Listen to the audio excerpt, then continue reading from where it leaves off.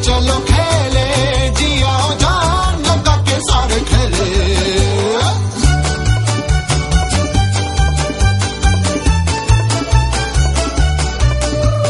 लाख की एक दवा है खेल मिटाए गम खेलेंगे तो सीखेंगे हम क्या है जीवन। सभी नशों से बड़ा नशा है नशे में डूबे हम। खेलेंगे तो बदलेंगे हम सारे मौसम।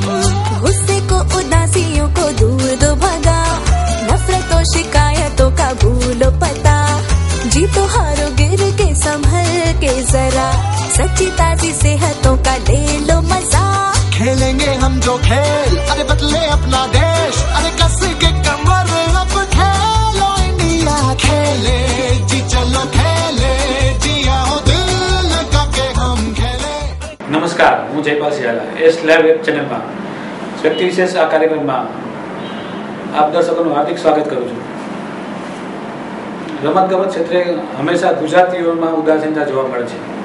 પરંતુ ગુજરાતના એક એવા ખેલાડી કે જેમણે આંતરરાષ્ટ્રીય સ્તરે લગભગ દરેક ઇવેન્ટમાં ગોલ્ડ મેડલ જીતીને ભારતનું નામ રોશન કર્યું છે. તો આવો મળીએ. આપણે ગાંધીનગરના રહેવાસી એવા અર્જુન એવોર્ડ વિજેતા મહિલા મહિલા બેડમિન્ટન ખેલાડી પારુલ પરમારને.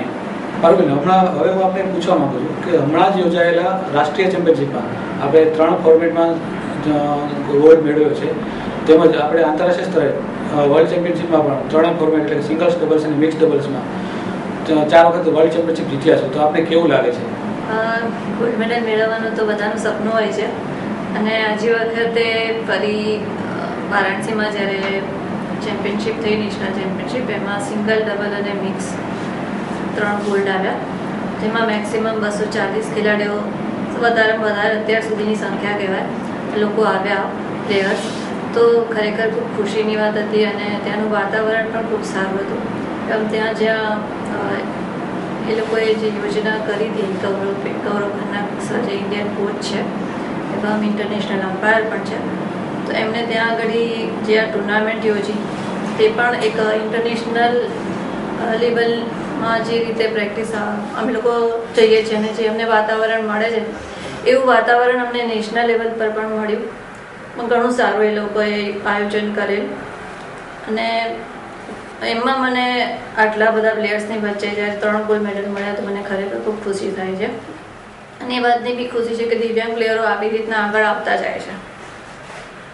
બીજું જે તમે કહો છો કે બે, અત્યાર સુધીમાં મેં ચાર વર્લ્ડ ચેમ્પિયનશિપ જીતી. મેં લગભગ બહુ નાની હતી, જ્યારે સમજ પણ નથી મને. ત્યારથી બેડમિન્ટન સ્ટાર્ટ કરેલું. પણ મને પેરા મીન્સ કે દિવ્યાંગ બાળકો આવી રીતે બેડમિન્ટન રમે છે એની મને ખબર નહોતી. એની જાણકારી મને બે હજાર બેમાં થઈ. અને ત્યાર પછી મારી દિવ્યાંગ ટુર્નામેન્ટો રમવાની ચાલુ થઈ અને તે અત્યાર સુધી બે હજાર સત્તર સુધી રમી. અત્યારે આગળ પણ હું એશિયન ગેમ્સ માટે તેની તૈયારી કરી રહી છું. અને મારો ગોલ ઓલિમ્પિકનો છે. બે હજાર બેથી અત્યાર સુધીમાં મોટાભાગે મારા ત્રીસ ઇન્ટરનેશનલ મેડલ્સ છે અને એમાં ત્રેવીસ ગોલ્ડ મેડલ છે. તો આગળ પણ મારી ઈચ્છા છે કે હું રમું અને દેશને મેક્સિમમ ગોલ્ડ મેડલ આપું. બરાબર. આપની આ સફળ કારકિર્દીમાં આપણે ઘણા મેડલ જીત્યા છે. તો આપને બેડમિન્ટન રમવાની પ્રેરણા ક્યાંથી મળી? બેડમિન્ટન એક રીતે પહેલાં જ્યારે હું જન્મી ત્યારે એબલ્સ જ હતી. મને કોઈ પ્રોબ્લેમ નહોતો. પણ ત્રણ વર્ષની થઈ ત્યારે મને તાવ આવી ગયો અને એના પછી એને તાવ એટલો બધો વધી ગયો હતો કે ઉતારવા માટે તેને ઇન્જેક્શન આપવામાં આવ્યું, જેમાં મારા પગને નુકસાન થઈ ગયું. પણ જો ન તો કદાચ ડૉક્ટર ઇન ટાઈમ મળ્યા ના હોત મને, જે અમારે નીચે જતા ખૂબ સારા ડૉક્ટર હતા, જેમણે મારો જીવ બચાવ્યો. અને હું એમની આભારી છું કે એમણે મને જીવતદાન મળ્યું એ વખતે. પણ મને પગે તકલીફ થઈ, જે મને તે વખતે તો કાંઈ સમજ નથી પડતી કે આ તકલીફ કહેવાય, કે ઘરનું વાતાવરણ જ એવું હતું કે મને ક્યારેય મહેસૂસ નહીં થવા દીધું કે હું હેન્ડીકેપ છું. મારા પપ્પા બેડમિન્ટન પ્લેયર હતા અને એમને પહેલાં સેક્ટર અઠ્યાવીસમાં બેડમિન્ટન ટુર્નામેન્ટ એક કોર્ટ હતો, જ્યાં આગળ બધા રમતા હતા. અને પછી સેક્ટર એકવીસમાં એ લોકોએ ભેગા થઈને બનાવ્યું અને ત્યાં આગળ સચિવાલય જીમખાનામ બન્યું, જેમાં ઘણા, મતલબ માઇનોર ફીથી બધા લોકો રમી શકે, બાળકો તેમાં કર્મચારીઓ સરકારી કર્મચારીઓના બાળકો બી રમી શકે માઇનોર ફીથી એવી રીતનું વાતાવરણ એ લોકોએ બનાવ્યું અને જેનો અમને ફાયદો થયો અને અમારા જેવા ઘણા પ્લેયર્સોને ફાયદો થયો જે આજે સારી જગ્યા પર નોકરી કરે છે.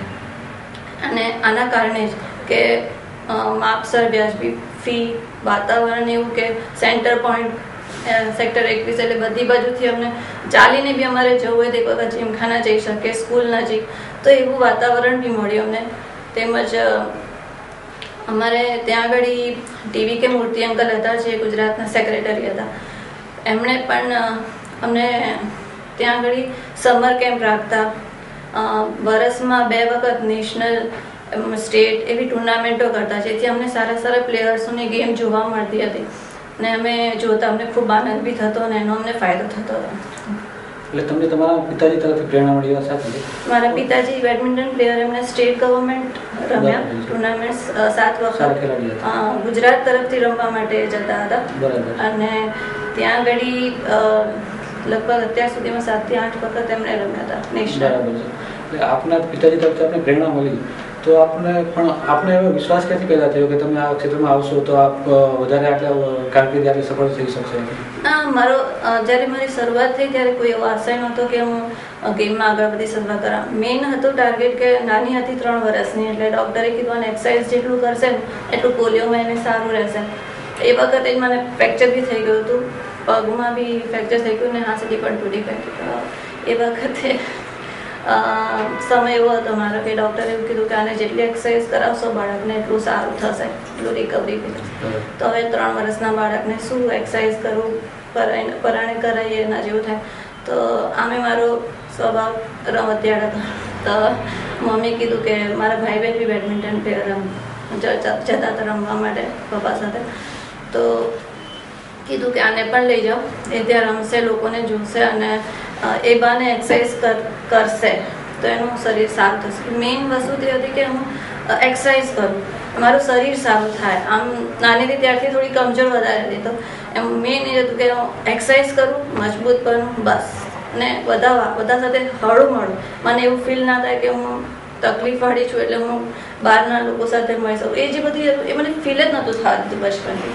તો મારો ઘરના લોકોનો આશય હતો કે હું મેડલ જીતું એવો આશય નહોતો એ હતું કે હું હેલ્ધી બનું ફિટનેસ ફિટનેસ રહે આંતરરાષ્ટ્રીય સ્તરે આપણે ઘણા મેડલ જીત્યા છે પણ અમારા દર્શકોને જણાવો કે આપ રાષ્ટ્રીય અને આંતરરાષ્ટ્રીય સ્તરે કઈ કઈ સિદ્ધિઓ મેળવી છે? મેં મારી જ્યારે શરૂઆત થઈ ત્યારે મેં લગભગ સાતમા આઠમા ધોરણમાં જ ગુજરાત ફર્સ્ટ બની ગઈ હતી. ગુજરાત ફર્સ્ટ બની ગઈ હતી. અને એ વખતે અંડર ટેનમાં મતલબ કે દસ વર્ષથી નીચે નીચેના જે છોકરાઓની ટુર્નામેન્ટ થાય છે એની અંદર હું ટેબલ્સ જ રમતી. બે હજાર સુધી મેં ટેબલ્સ જ રમ્યું છે. એની અંદર મારો ફર્સ્ટ નંબર હતો અને ત્યારે મને એ બી ખબર નથી કે હું ગુજરાત ફર્સ્ટ થઈ. એટલું મને નથી કે બસ રમવું છે અને જીતવું છે જે બી સામે આવે એની સામે. એક મગજમાં પહેલેથી પપ્પાએ કર્યું હતું કે કોઈનાથી ડરવાનું નહીં. જે પણ આવે તેની સાથે તમે રમો અને એક સ્પોર્ટ્સમેન સ્પિરિટથી રમો. કોઈને એવી રીતના નહીં કે કોઈ ખરાબ રીતે હરાવવાનો આશય નહીં. તમે મહેનત કરો ને આગળ વધો. એવી રીતના તમે મહેનત કરીને આગળ વધશો સામેવાળા પણ એવી જ રીતના તમારા પાસે શીખશે. તમારાથી આગળ બીજા જે હશે એ બી શીખશે. તો સારા ગુણ તમે બહાર પાડશો તો સામે બી તમારા બીજા લોકો જે તમને જોવે છે એમાં સારું જ હશે. બરાબર. એક તો આંતરરાષ્ટ્રીય સ્તરની તમે સિદ્ધિઓ કયા મેડલ જીત્યા છે કયા કયા ટુર્નામેન્ટમાં અત્યાર સુધીમાં આંતરરાષ્ટ્રીયમાં મેં અ, ઘણા બધા છે. એમાં બે હજાર બેમાં વર્લ્ડ કપ અહીંયા આગળ ઇન્ડિયામાં થયો જ્યારે પપ્પા મારી સાથે હતા. એ સૌથી પહેલી અને યાદગાર મારા માટે છે. કારણ કે એ વખતે ઇન્ડિયન કોચ તરીકે મારા પપ્પા મારી સાથે હતા. અને એમાં મારી સિંગલ ડબલ અને મિક્સમાં ગોલ્ડ મેડલ હતો. એ જ વખતે ટીકારામ રમેશ કરીને અમારી સાથે મારા મિક્સ ડબલ્સના પાર્ટનર હતા. જેને આ રિઝલ્ટને રિઝલ્ટ પછી અર્જુન એવોર્ડ મળ્યો. જેનાથી મને પ્રેરણા થઈ કે હું પણ અર્જુન એવોર્ડ મેળવું. જેના માટે પપ્પાને મેં વાત કરી. એમણે કીધું કે કન્ટિન્યુઅસ ઇન્ટરનેશનલ લેવલ પર તમે ગોલ્ડ મેડલ કે એમ સારું પરફોર્મ કરો, એ કન્ટિન્યુઅસ ત્રણ વર્ષ આપવું પડે ઇન્ટરનેશનલ લેવલ પર, તો જ તમને અર્જુન એવોર્ડ મળે. તો એના માટે તું ઇલિજિબલ છે, કરી શકે એમ છે, પણ તારે મહેનત કરવી પડશે. અને પપ્પા એની પાસે, મારા પાસે ઘણું બધું પોતાના આર્થિક રીતે બી ખૂબ ઘસાવ પડ્યો અને એમને કર્યું બી ખરું. એમણે એમણે હિંમત નહીં હારી. હું તો ઘણી વખત હિંમત હારી ગઈ કે સ્ટેટ એવોર્ડ લેવો હોય તો પણ આમ નિરાશ થઈ જતી હતી. કારણ કે આપણે ત્યાં ઘણી વખતે એટલું વાતાવરણ નહોતું કે દિવ્યાંગ બાળકો આવી રીતે રમે છે નથી. એનું પણ લોકોને એટલી ખ્યાલ નહોતો. એટલે કોઈ એવોર્ડ બન્યો નહોતો. તો મને મળતો નહોતો. કારણ કે હા. કારણ કે હું હું વર્ડ નંબર વન હતી. પણ અહીંયા ગુજરાતમાં બન્યું નહોતો નિયમ. જેને કારણે મને મળતો નહોતો ને એને કારણે મને. એ વખતે નહોતું બન્યું અત્યારે તો ઘણા બધાને મળ્યો ને અત્યારે ઘણું ડેવલપમેન્ટ પણ છે ઘણા છોકરાઓ આગળ આવ્યા છે. તો જેમ જેમ લોકોને ખબર પડતી કે અમે એ લોકોને બેનિફિટ અમારે થોડો સંઘર્ષ વધારે પડતો કરવો પડે. અત્યારે જે બધા છે એ લોકો માટે ઘણું સારું છે. તમારા સંઘર્ષનો લાભ અત્યારની યુવા પેઢીને મળશે? હા મને એમ લાગે છે. આંતરરાષ્ટ્રીય તમને જે તક મળી તો એમાં તમે એને ગોળમાં ફેરવી એ સફર વિશે અમારે કરશો. આંતરરાષ્ટ્રીય સ્તરે જ્યારે પહેલી વખત મારે ઇઝરાયલ જવાનું થયું, તો હું એક જ છોકરી હતી અને બીજા બધા છોકરાઓ હતા. તો મમ્મીએ તો ચોખ્ખી પપ્પાને ના પાડી દીધી કે મારે મારી છોકરી નથી મોકલવી કારણ કે એની સાથે ત્યાં કોણ હોય, કંઈ થશે તો શું હોય. તો મને બી અમુક રીતે તો ડર લાગતો હતો કે બહાર શું થશે એવી રીતના કરી. પણ મારી સાથે એક એસપી દાસ કરીને અમારે ઇન્ડિયન ટીમના કેપ્ટન હતા. એમને બે બાબા જ હતા ને છોકરી નથી પણ એ મને એટલું છોકરીની જેમ રાખ્યું હતું એમણે કે મને ક્યારે મારે મતલબ એ વખતે દરેક છોકરાઓ સાથે રમી હતી ત્યાં ફર્સ્ટ ટાઈમ તો સામે, મારી સામે છોકરા, હું એક જ છોકરી, આખી ટુર્નામેન્ટમાં પણ હું એક જ છોકરી હતી. મને પૂછવામાં આવ્યું કે તમે રમશો? મેં કીધું, વાંધો નહીં, હું આવી છું રમવા માટે તો હું રમીશ જ. સામે કોઈ પણ હોય. અને હું છોકરાઓ સાથે રમી, એમ મને મેડલ પણ મળ્યો ત્યાં. બ્રોન્ઝ મેડલ બી મળ્યો અને ડબલ્સમાં મારો ફર્સ્ટ નંબર આવ્યો. તો એક મારી હિંમત ખુલી અને ખરેખર હિંમત મને એના મારી સાથે જે મારા કેપ્ટન હતા એમણે મને ખૂબ હિંમત આપી જેનું મને ફળ બી મળ્યું અને એને અત્યાર સુધી મળી રહ્યું છે. મોટિવેશન રમતવીર તરીકે વિદેશમાં રમવામાં તમને કઈ કઈ તકલીફો પડી અને તમે એનું શું શું સમાધાન કર્યું? કેવી રીતે કર્યું? એ અમારા દર્શકોને જણાવશો હું બહાર જતી હતી તો પહેલાં તો સ્પોન્સરશિપની તકલીફ પડતી હતી. તો એ તો અહીંયા કોઈ બી રીતે એચએસ પપ્પા ગઈને ફીસ ને બધું ભરવાનું થતું જાતે કરવું પડતું. હતું. અમુક પપ્પાના ફ્રેન્ડ્સ કે પ્લેયર્સ હોય એ લોકો પણ ગુપ્ત રીતે અમને આપતા હતા કે ભાઈ તમે કરો એવી રીતના મદદરૂપ થતા હતા. અમારે ત્યાં જે ગાંધીનગરમાં સેક્રેટરી તરીકે હતા બીજા ગાંધીનગરના. એમના પ્લેયરો હતા જે બહુ સારા હતા. એ લોકોએ પણ મદદ કરી મને. એવમ જીએસએફસીમાંથી એક વખત સ્પોન્સરશિપ મને મળી. ગવર્મેન્ટમાં એ વખતે મેક્સિમમ વીસ હજાર આપવાનું એ હતું કે મળે એક વખત. તમે જાઓ એટલે. પણ અમારી ખર્ચ જ લાખ રૂપિયા એક વખતમાં એની આસપાસ થઈ જતો. તો બીજા જોડવા જ પડતા હતા. મારે તો મારે પોસ્ટમાંથી હું સર્વિસ કરતી હતી તો પોસ્ટમાં મારે લોન લેવી પડતી. પપ્પા બી લોન લેતા. અને ભાઈ બી એવી રીતના ભેગા કરીને મને મોકલતા હતા. એમનો ટાર્ગેટ એ જ હતો કે હું અર્જુન એવોર્ડી બનું તો કોઈ બી ટુર્નામેન્ટ મારી છૂટે નહીં. તો એક તો એ મોટી તકલીફ અમને પડતી હતી કે જોબ બી કરતી હતી, સાથે સ્પોન્સરશિપ માટે બી જવાનું અને રમવા માટે પ્રેક્ટિસ બી કરવાનું. તો બધું બહુ ટફ પડતું હતું. એના પછી પણ તૈયારી કરીને જતા ત્યારે અહીંયા અહીંથી જ્યારે બહાર જઈએ તો ખાવામાં મને વધારે તકલીફ પડતું હું વેજીટેરિયન હતી તો મારે એક બેગ તો આખી બધી નાસ્તાની જ હોય. તો બહાર જઈએ એટલે વજન વધી જાય. હા એટલે મારે એક્સ્ટ્રાનું પે પણ કરવું પડતું હતું એરપોર્ટ ઉપર. તો એ પણ એક રહેતું હતું. તો અમે એમને કીધું બી કર્યું કે અમે લોકો પ્લેયર્સ છીએ તો અમારી કીટ ના તે વધારે હોય તો તમે જે લિમિટ રાખો છો એને પ્લેયર માટે વધારો એમ. તો અમારા માટે સારું.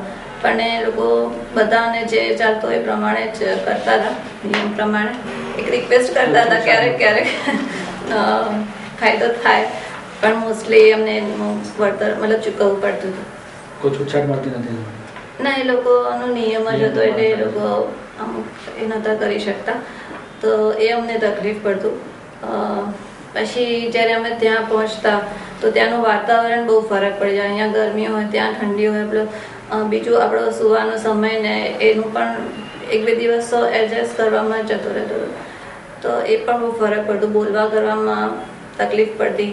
ઇંગ્લિશ ને ત્યાંની લેંગ્વેજને એમાં ભાષાની રીતે સમજવા તકલીફ પડે. એમનું પ્રોનાઉન્સિએશનમાં આપણે ધ્યાન રાખવું પડે. આપણું એનાઉન્સમેન્ટ થતું હોય તો ધ્યાન રાખવું પડે આપણે કે આપણને બોલાવે છે તો ટાઈમિંગ જોઈ લેતા હતા. એવી રીતના ઘણું ધ્યાન રાખવું પડે. બરાબર. એટલે ભારતમાં આપણા લોકલ ખેલાડીઓને ભારતના ભારત બહારના વિદેશી ખેલાડીઓ સાથે રમવાની તક મળે તો એમનો અનુભવ વધે તો એ વધારે સારું પ્રદર્શન કરે. પહેલા તો આપણે? વાતાવરણ જ બનાવવું છે હું તો એ કહું છું કે માનસિક વાતાવરણ પહેલા બનાવવું પડે. એના માટે તમારે પરિવારમાંથી જ મળ- મળવું જોઈએ વાતાવરણ. ફૂલ મતલબ છૂટ મળવી જોઈએ એ પ્રમાણેનું કે તમે રમો. અહીંયાનું વાતાવરણ કેવું છે કે વેપારી ટાઈપ વધારે છે ગુજરાતનું. કે ધંધો કરો નોકરી કરો એક અને ભણો. પણ હેલ્થ બાજુ એટલું નથી જોતા. આજનું તમે બચપન જોશો તો બગીચામાં કે એમાં તમને એટલા બાળકો ખુલતી રમતા નથી જોવા મળતા. જેટલું આપણે પહેલાં રમતા હતા. એને કારણે હેલ્થ ઉપર બાળકોના હેલ્થ પર બહુ અસર પડે છે. તો એ બી જ્યારે તમે બાળક માટી સાથે રમશે નહીં, તો એને એ હેલ્ધી કેવી રીતે થશે? એ રમી જ નહીં શકાય. બધું એવી રીતના, મારું કહેવાનો મતલબ એવો છે કે આંતરરાષ્ટ્રીય સ્તરે તમારે જવું હશે, તો તમારે ઘણું બધું છોડવું પડે છે. ઘર છોડવું પડે છે. સારા ઇન્ટરનેશનલ કોચની અંડરમાં કોચિંગ લેવા માટે તેમ તમારા પરિવારથી અલગ જઈ એ લોકોના કેવી રીતના એ લોકો ટ્રેનિંગ લે છે તમે બહાર જુઓ એક્સ્ટ્રા ઓર્ડિનરી એ લોકોને ટ્રેનિંગ આપવામાં આવે છે. અહીંયા આપણે એક બે રાઉન્ડ મારવાનું હોય તો છોકરાઓ ત્રીજા રાઉન્ડે કહી દેશે કે ના ભાઈ, અમારે મહેનત એમને ખાલી રમાડો એ એ વસ્તુ અલગ પડી જાય. તમારે એ વાતાવરણ બહારનું દેખાડવું પડે કે તમારે ચાઇનાને હરાવવું હોય તો ચાઇના કેટલી મહેનત કરે છે. એના, ત્યાં આગળ એનો દેશ, એના પ્લેયર્સને તૈયાર કરવા માટે શું શું ટેકનિકો નવી નવી અજમાવે છે? કારણ કે અમારા ફિઝિયો ફિઝિયોથેરાપિસ્ટ હોય છે. નવી નવી નવી ટેકનિકો લોકો ગોતે છે કે એ લોકોમાં કેવી રીતે ડેવલપમેન્ટ થાય. અમે બી પ્લેયર છે, સામે બી એ જ પ્લેયરો આવવાના છે અમારા જેવા જ આવવાના છે. પણ અમને હરાવવા માટે એમના એમના પ્લેયરને કેટલું પ્રેક્ટિસ આપવી પડે છે, કેવા સાધનો નવા વિકસાવે છે એને કેવી રીતના તૈયાર કરે છે, એ લોકો પાસે શીખવાની જરૂર છે. એના માટે થઈને આપણા કોચિસને પણ એમની પાસે મોકલો, અથવા એવું કંઈક દેશે જ વિચારવું પડે. ધારો કે ગુજરાતને પોતાના પ્લેયરો ડેવલપ કરવા હોય તો ગુજરાતે વિચારવું પડે કે મારે, મારા છોકરાઓ ઇન્ટરનેશનલ લેવલમાં ટોપ પર થાય એના માટે ઇન્ડોનેશિયા, ચાઇના જે ટોપના પ્લેયર્સ છે, એના કોચને એને શું શીખવાડે છે? એનો દેશ એના માટે શું કરે છે? એને શું માનસિક રીતે બી એને સપોર્ટ મળવો જોઈએ. ધારો કે એને પરિવારથી દબાતો હોય કાલે એ વિચારે કે મારો પરિવાર શું ખાશે, તો એ શું રમવાનું હતું? કારણ કે એ કમાતો નહીં હોય અથવા એનું ધ્યાન કમાવામાં જશે તો એ ગ્રાઉન્ડ ઉપર નહીં કરી શકે. તો એ સપોર્ટ કોણ આપી શકે? જે તે સ્ટેટ આપી શકે, કાં તો એનો દેશ આપી શકે. તો ચાઇના અથવા બીજા કોઈ દેશમાં એવું એ લોકો કરે છે કે પ્લેયર્સને એનો પરિવારના જે બી હોય છે, એનો પૂરો ખર્ચો કે બધું એ રીતે એને ગોઠવે છે કે એને ખાલી એના પર જ ફોકસ કરવાનું હોય છે કે તારે રમવાનું છે. એનું ખાવાનું ડાયટ એને માનસિક શું પ્રોબ્લેમ છે? સાયકોલોજી ટ્રીટમેન્ટ પણ આપવામાં આવે છે. દરેક રીતે એને ચેક કરવામાં આવે એવી રીતનું એડવાન્સ વિચારવું પડે ત્યારે અહીંયા આગળ આંતરરાષ્ટ્રીય પ્લેયર તૈયાર થાય અને એવો માહોલ આપવો પડે. ટેકનિકલ અને માનસિકતા ખાસ બદલવાની હા ટેકનિક મેળવવી પડે બહારની સાથે આપણા પ્લેયર્સને કમ્પેર કરીને શું ઘટે છે એ ચેક કરવું પડે અને એ પ્રમાણેનું વાતાવરણ બનાવવું પડે. એને સામાન્ય ઓલામાં ના રહે જ્યારે એક્સ્ટ્રા ઓર્ડિનરી પ્લેયર્સ બનાવે તો એક્સ્ટ્રા ઓર્ડિનરી વાતાવરણ એને આપવું પડે. એના માટે ગવર્મેન્ટ અને ખાસ કરીને રમત મંત્રાલય ધ્યાન આપવું પડે. એનો ખર્ચો મોટો હોય છે એ દેશ જ કરી શકે કે આ સ્ટેટ જ કરી શકે. બરાબર છે. ભવિષ્યમાં આ ક્ષેત્રમાં આપના શું ગોલ છે? ભવિષ્યમાં હજી આપને શું મેળવવાનું એવું લાગે છે કે બાકી છે? મારું તો ટાર્ગેટ ઓલિમ્પિક છે. હું ક્યારની મતલબ બે હજાર બાર ચૌદ ને સોળમાં પણ મેં એ જ વિચારતું મારે મારે ઓલિમ્પિક જીતવું છે. જ્યારથી મને સમજ થઈ કે ઓલિમ્પિકમાં બેડમિન્ટન ઇન્ક્લુડ થવાનું છે. ત્યારથી હું એની રાહ જોઈને જ બેઠી છું કે ક્યારે ઓલિમ્પિકમાં મારું નામ જાય અને હું મેડલ મેળવું. સંજોગ વસાત આજી વખતે ટ્વેન્ટી ટ્વેન્ટીમાં ટોક્યોમાં ઓલિમ્પિક થવાની છે.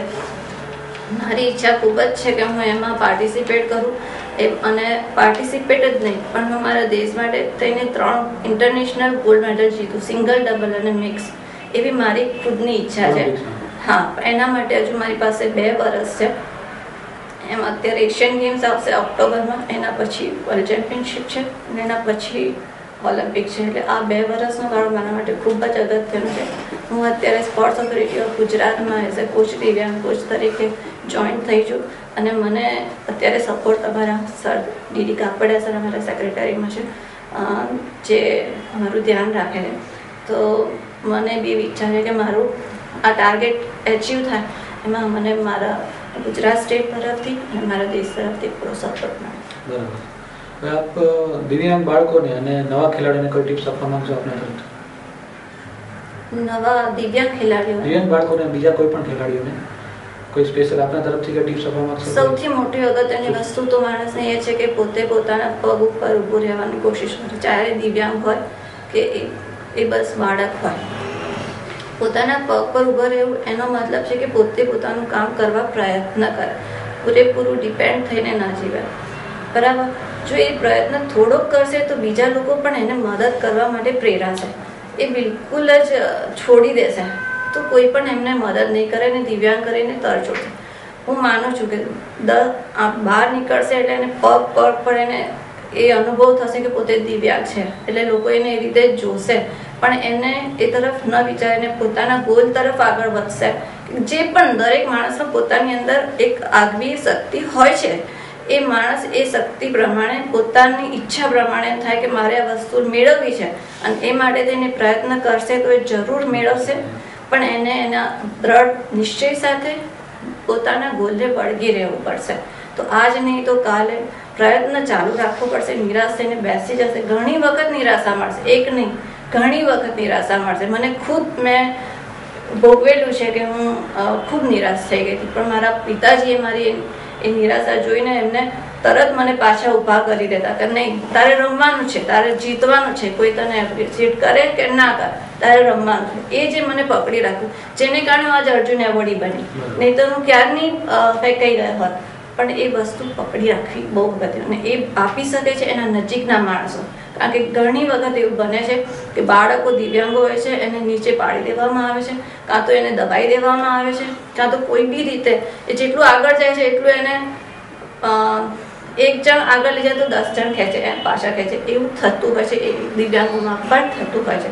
તો એનો આજુબાજુનું વાતાવરણ ધારો કે નજીકના માતા પિતા, ભાઈ બહેન ફ્રેન્ડ્સ ગુરુજનો, કોઈ પણ હોઈ શકે છે કે જેને એક માત્ર નાનકડું પ્રોત્સાહન એના માટે જીવનનું લક્ષ્ય સિદ્ધ કરવાની તાકાત મળી જાય.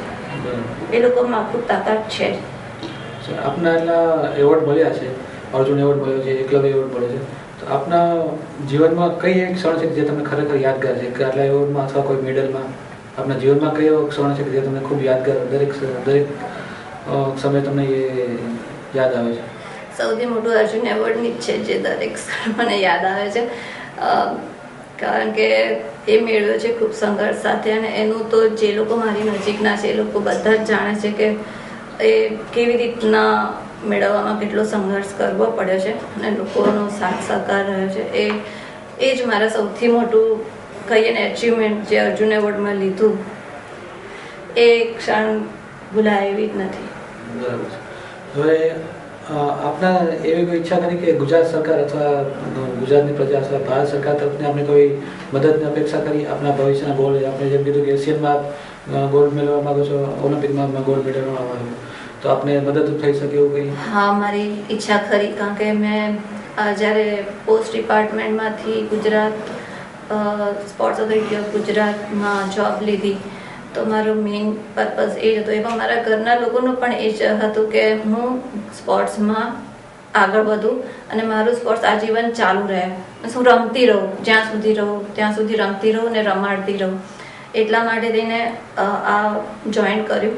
અને મારી તીવ્ર ઈચ્છા છે કે હું ઓલિમ્પિકમાં જીતું, તો એના માટેથી મને ગુજરાત સરકાર, ભારત સરકાર, મને જે પણ મારે એ ગોલ એચીવ કરવા માટે બની શકે છે કે મને અમુક વસ્તુ ના ખબર હોય કે મારે આ આટલી વસ્તુની કરવાની જરૂર છે, જે વસ્તુની મને જાણ કરે અને મને એ પ્રમાણેનું પ્રોત્સાહન આપે અથવા મદદ કરે કે જેનાથી હું એક ગોલને એચીવ કરું, જેનાથી ગુજરાતનું બી નામ રોશન થાય, ભારત દેશનું નામ રોશન થાય અને એક ઇતિહાસ જેવું સર્જાય છે ક્યારેય ગુજરાત માટે નથી બન્યું. બરાબર.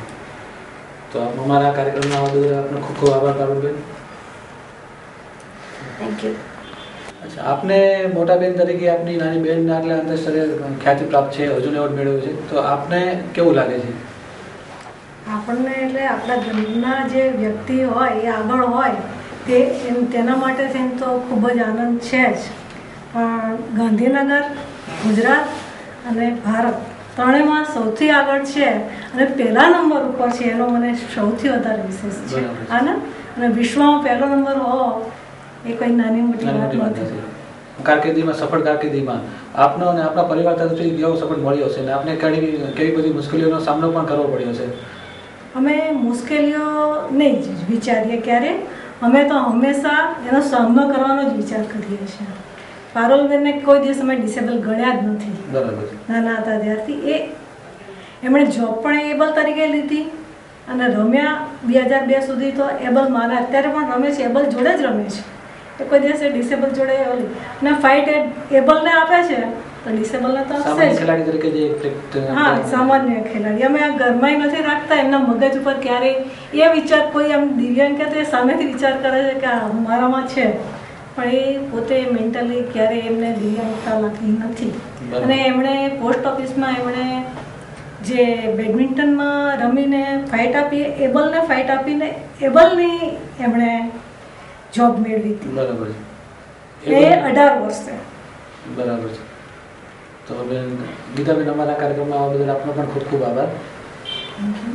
તો દર્શકો, મિત્રો, આ હતા આપણી સાથે ગુજરાતના એક મહાન ખેલાડી, જેમણે દુનિયામાં ગુજરાતના નામનો ડંકો વગાડ્યો છે. અમે આવી રીતે આપને સમક્ષ વ્યક્તિ વિશેષ કાર્યક્રમમાં બીજા અલગ અલગ ક્ષેત્રના મહાનુભાવોને આપની સાથે પરિચય કરાવતા રહીશું. તો આજે અમારા કાર્યક્રમને જોવા બદલ આપ સૌનો ખૂબ ખૂબ આભાર. ખેલે